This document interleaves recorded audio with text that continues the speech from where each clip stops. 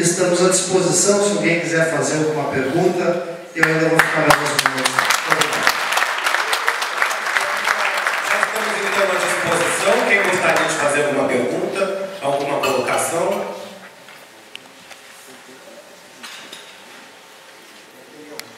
Por favor. Gostaria de saudar o secretário. Seja bem-vindo.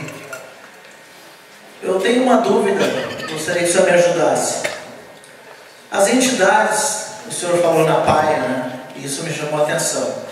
Hoje a nossa PAI está com um problema muito sério. Ela está praticamente desativada aqui no município.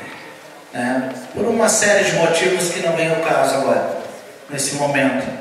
Eu lhe pergunto, tanto a PAI como o Simão Pedro hoje que necessitam de, de ajuda financeira e eles estão, de certa forma, uh, inadimplentes, é possível encaixar eles dentro desses projetos?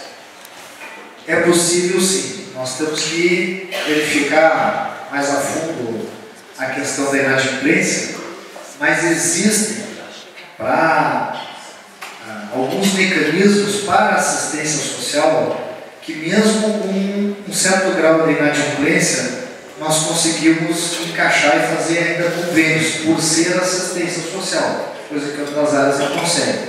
Então, se o senhor quiser né, nos encaminhar através dos vereadores aí, né, é, quiser nos encaminhar, nós temos o maior prazer de receber essas entidades ali no gabinete, oitavo andar do centro administrativo, os vereadores aqui sabem como fazer essa, esse encaminhamento e a gente pode olhar né, com, nos deter um pouco mais e tentar ajudar, né, inclusive fazer projetos da lei da solidariedade ou conseguir alguns conveniamentos com a própria secretaria.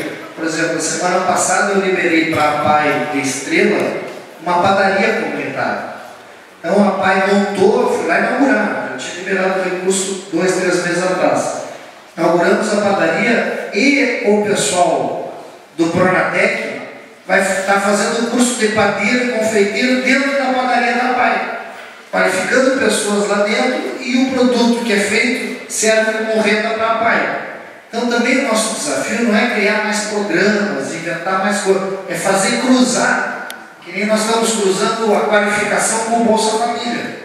Não é criar mais programas, não é ser só assistencialista. Né? Nosso programa nosso agora é profissionalizar a assistência social, encostando políticas como essa do trabalho, que tem dado muito certo. Então, se precisar, estou à disposição, posso orientar lá para a nossa equipe.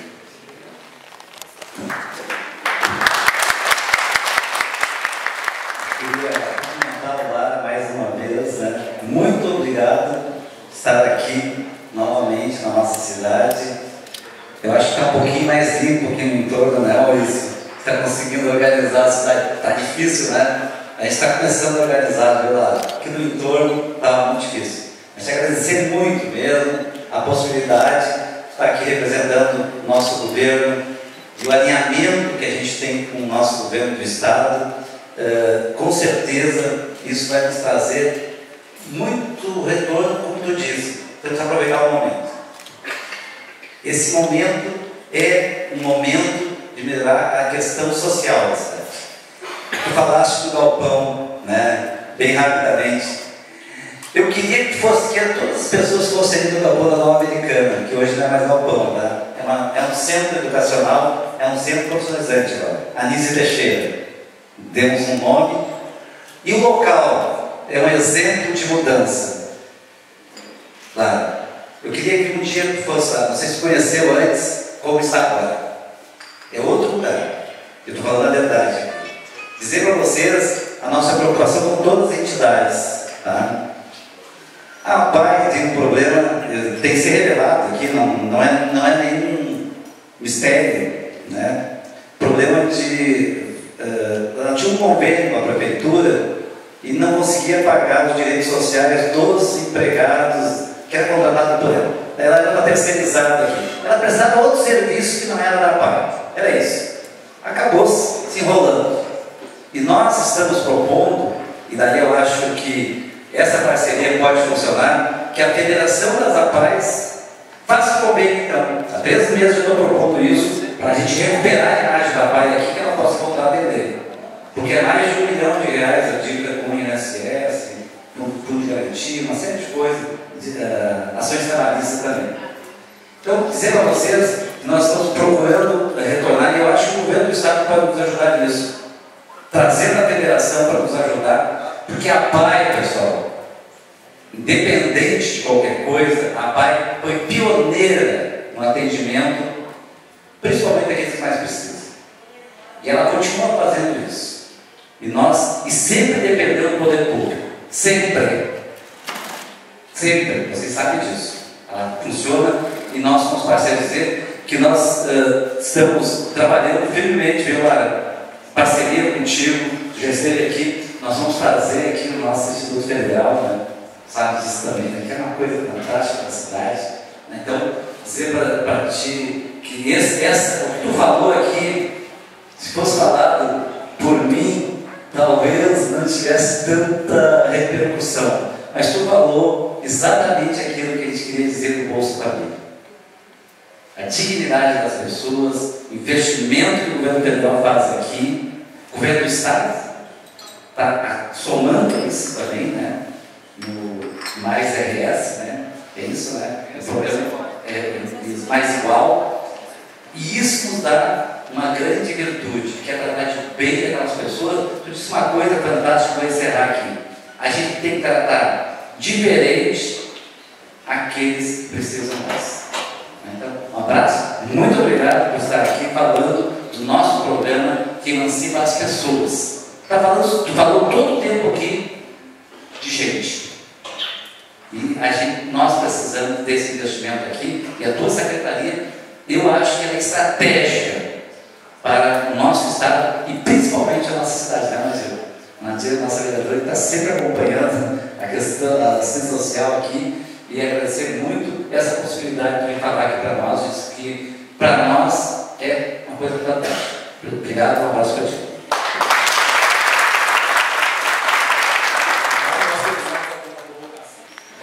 Boa tarde.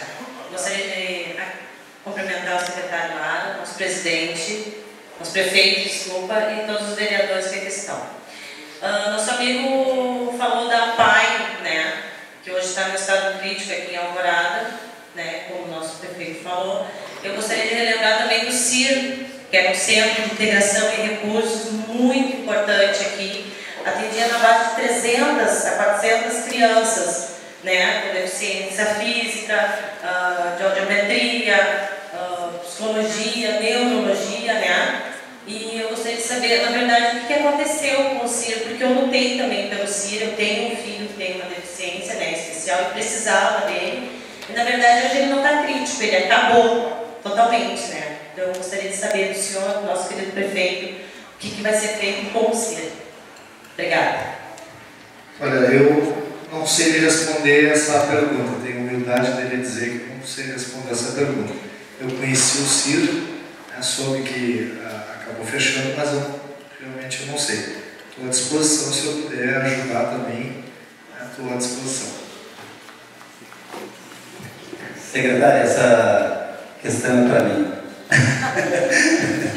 Porque o Centro de, de, de, de Recursos, né, o CIR, que era a CIR no nosso governo da Estela, era a Sala de Integração e Recursos, depois passou a ser Centro de Integração e Recursos. Quando era sala, era atendido lá na escola.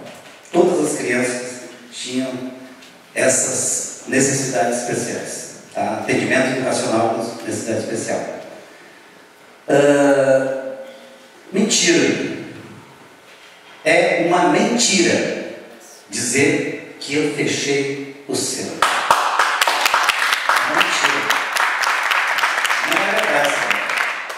Eu sou professor de educação física, sabe qual é a área? De criança especial. Me formei em 81. E quem conhece aqui sabe que eu falo a verdade, e sempre olhando no olho das pessoas. E trabalhei na escola Recanto da Alegria, que é escola especial, que era, dizia-se, escola excepcional, para criança excepcional. Antigamente, no meu tempo, evoluiu a nomenclatura. Nós construímos agora o SENAI, que faz o atendimento de todas as crianças da cidade através do SENAI. Inclusive, o prédio do OCIR, que foi construído com dificuldade de acessibilidade. Estamos transformando agora no CAPSI para atendimento clínico nesse local. Foi um prédio novo, foi feito sem acessibilidade, estamos adaptando para importar. Está sendo atendido to todas as crianças da cidade com, necessidades especiais, educacionais, serão atendidas, estão sendo atendidas no SEMAI, que era antigo prédio da PAI, que foi doada sem as condições mínimas para a PAI conseguir funcionar.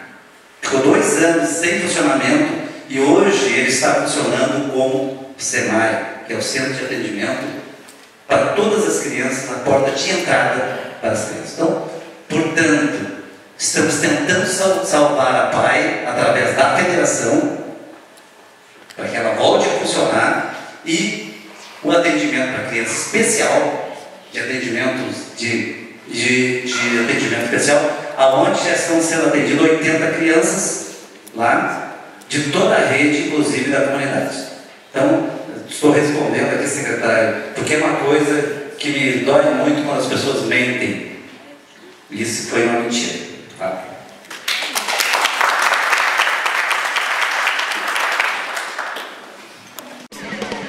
olhartv.com, o seu canal de TV na internet.